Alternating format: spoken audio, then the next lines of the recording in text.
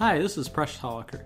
In this video, we're going to pose two classic puzzlers about drawing lines.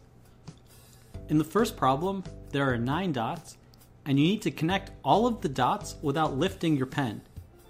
You also need to do this with at most four straight lines, and you cannot retrace any of the lines.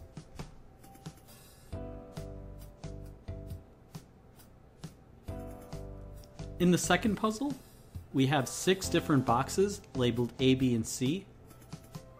The problem is to connect all of the boxes that have the same letter with lines, and the lines cannot intersect, and you have to stay inside of the big box.